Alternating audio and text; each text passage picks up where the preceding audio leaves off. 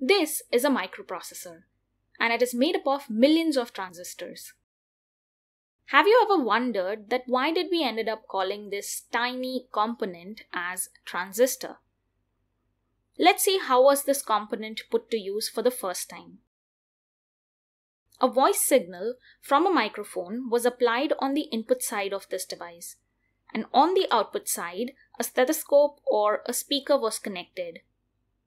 Now, it was observed that this device was not only following the input signal, but it was also amplifying it. Thus, it provided signal amplification. Prior to transistors, vacuum tubes were used for signal amplification. However, they had their own set of problems, which we'll discuss on some other day. The important thing is that this newly invented device, which was considered to be a dual of vacuum tube, didn't have any of these issues. And it was way better than vacuum tubes. The term transconductance was considered for vacuum tube, thus its dual, transresistance, was considered for this device. Also, a technical report of Bell Labs stated that this newly invented device had the transconductance or impedance of a device having gain. Thus, the name transistor is partly derived from the term transresistance.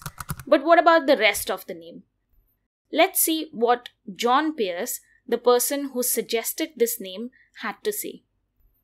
The way I provided this name was to think of what the device did, and at that time it was supposed to be the dual of the vacuum tube.